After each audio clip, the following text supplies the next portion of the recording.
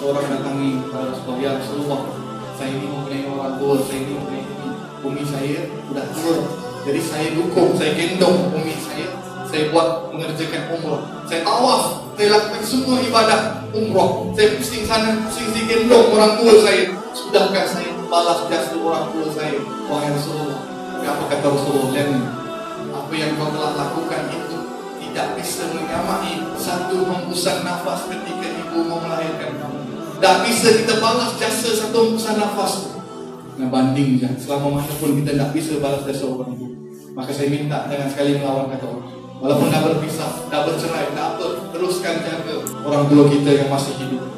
Kenapa kata Rasulullah? Kalau dia mempunyai orang tua tapi tidak masuk syurga, orang itu celaka kata Rasulullah. Orang tua tu pintu syurga antum.